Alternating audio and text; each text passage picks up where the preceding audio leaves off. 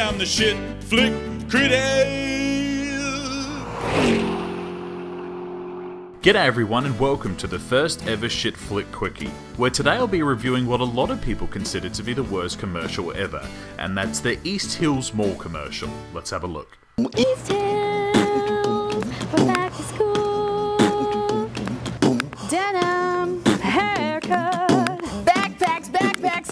Backpacks, get your backpack. Boots and pants and boots and pants. New shoes, Get yourself an outfit. denim, Boots and pants and boots and pants. Haircut. new shoes. So get yourself back to school with East Hills. It was made in 2014 by Chris Fleck, an ad producer who was hired by East Hills in St. Joseph, Missouri to make a commercial that was unique and would go viral. It certainly did, with 350,000 views in a couple days on YouTube, and at one point it was the fourth most popular video on Reddit. Everyone's opinion was unanimous though.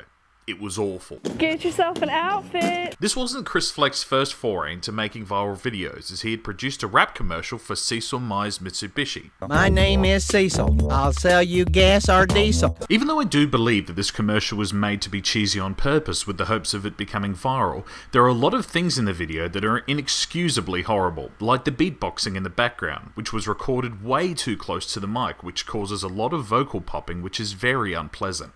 East It isn't even very good. It's like they saw a homeless man on the street beatboxing for change and went up and said, Hey, if you let me record you with my iPhone, I'll give you $5. It also doesn't help that almost none of the people featured in the ad have any musical talent whatsoever, except for the haircut lady who looks as though she was assaulted with a stud gun the night before, who was at least in tune, and the backpacks girl, who what she lacks in talent, she certainly makes up for in enthusiasm. If Chris Fleck had indeed made the commercial to be terrible on purpose, it's kind of dickish, as that means he intentionally embarrassed all these good folk on purpose just to make a video go viral. If he was legitimately trying to make a serious musical mall commercial, then may God have mercy on us all.